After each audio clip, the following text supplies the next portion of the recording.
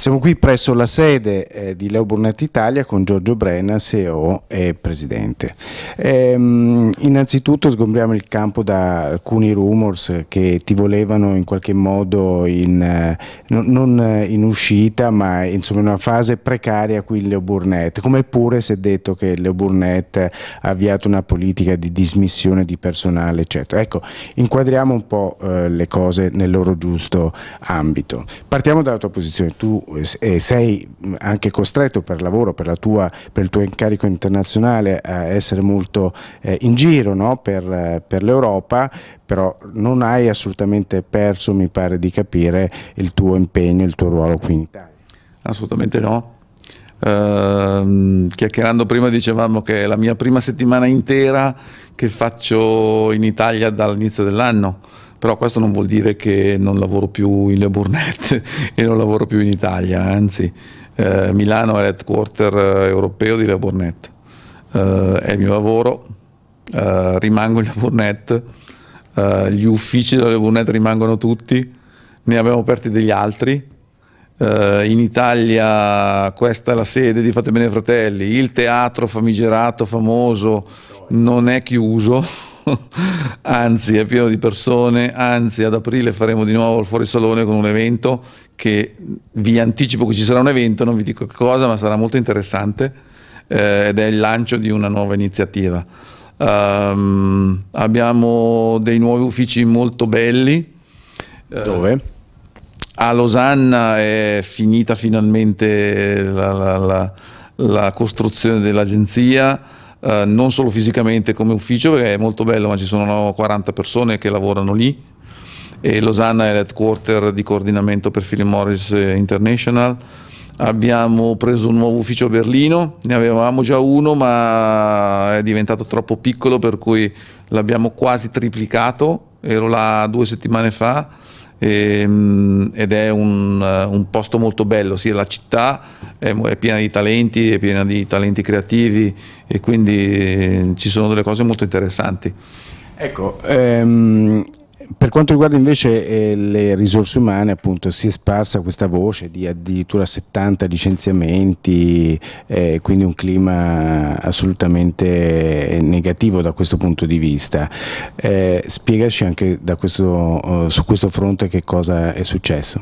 Nel mese di gennaio Leobornet Italia ha assunto 70 persone, non ne ha licenziate 70 Certo, eh, c'è, stato, stato un po' di ristrutturazione da fare, quindi circa una ventina di persone hanno dovuto lasciare l'agenzia uh, è un numero diverso da 70, quindi ne abbiamo assunti 70 e una ventina hanno dovuto lasciare. Questo deriva anche dall'applicazione delle nuove leggi sul, sul, lavoro che hanno ridotto di gran lunga la flessibilità nonostante le dichiarazioni politiche. No? Le dichiarazioni politiche dicono che queste, questa legge aumenta la flessibilità e riduce il precariato, in realtà per le aziende questo non è vero uh, i costi uh, di, eh, di, di, di, gestione del lavoro sono aumentati. Questo è stato fatto in una situazione di mercato che non è esattamente la più florida della, degli ultimi 50 anni, anzi è forse una delle più complicate degli ultimi 50 anni. Questo ha voluto dire che dovevamo andare a fare un, un, un ritocco dal punto di vista organizzativo che è stato fatto Uh, ma dirò di più, ci saranno dei ritocchi da fare anche quest'anno, che non vuol dire assolutamente che bisogna licenziare la gente, bisogna cambiare i modelli organizzativi e poi bisogna vedere quali sono i profili che si adattano ai nuovi modelli. Non vuole essere una minaccia, vuole essere una promessa di essere ancora più efficienti e competitivi. Uh, e le Burnett lo è già adesso, quindi dobbiamo migliorare. Ecco, questa diciamo, riorganizzazione vedrà la luce quando? Vedrà la luce prima dell'estate? Non ci puoi anticipare niente al momento?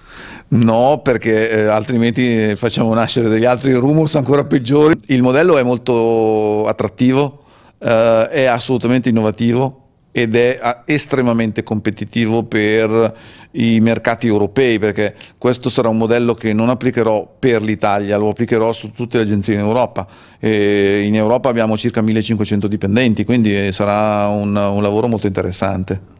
Bene, quindi diciamo che per quanto riguarda il eh, discorso delle risorse umane, questa ristrutturazione che c'è stato ha eh, riguardato soprattutto l'area dei contratti a progetto convertiti in assunzione, quelli che non è stato possibile fare eh, sono stati chiusi, questo mi sembra che sia no?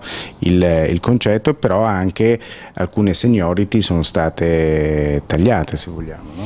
Sì, in, in, in qualche caso anche. Uh, il discorso che deve essere estremamente chiaro è che non c'è una volontà di uh, vessazione verso nessuno. E non c'è neanche una, Dio me ne guardi, una volontà di andare a uh, tagliare le persone più piccole, le persone più junior Uh, si va a vedere quali sono le, le, persone, i profili che sono adatti ad affrontare, ad affrontare un modello di business e, e un modello di clientela che sta cambiando. Ecco, questa è la, forse è, la, è diciamo, la cosa più interessante, no? il mercato è quello che ora parleremo anche di quelle che sono le tue previsioni. Il modello di business delle agenzie così come è, è arrivato fino ad oggi è quello che si rifaceva a un mercato che non c'è più, quindi adesso l'evoluzione delle agenzie, delle agenzie di comunicazione, delle imprese di comunicazione, verso quale direzione deve andare?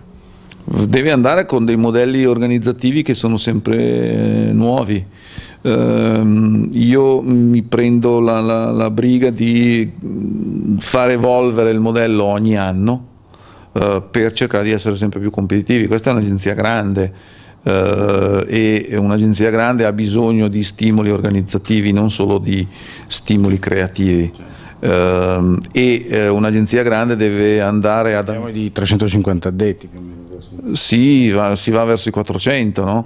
per cui eh, ha bisogno di essere anticipatrice sui tempi per andare ad anticipare quali che sono le esigenze dei clienti o almeno provarci. Sicuramente non essendo ancorata a un modello di gerarchia piramidale che è quello che si è sempre usato e che si tende ad usare e che si tende ad usare anche nelle, nelle situazioni con tanti giovani i giovani si dice in alcuni casi hanno bisogno di disciplina, devono essere inquadrati eccetera eccetera. Io credo che un, un modello diverso sia più produttivo, eh, però ha bisogno di impegno e di lavoro e deve essere capito e spiegato e questo è uno dei lavori che sto, che sto facendo.